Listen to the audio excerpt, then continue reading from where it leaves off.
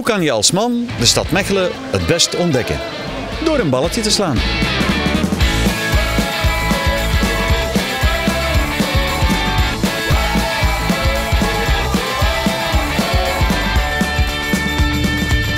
Nu is het moment rijp om iets te gaan drinken.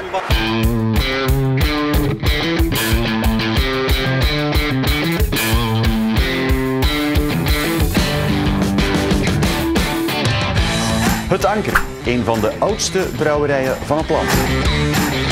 Gouden Carolus, het beste bier ter wereld.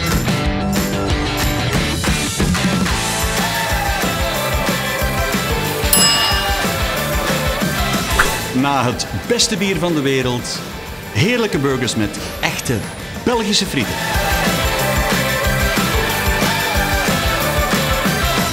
Een golfballetje slaan, een heerlijk biertje drinken en nadien een frietje steken. Mannen, kom toch gewoon naar Mechelen.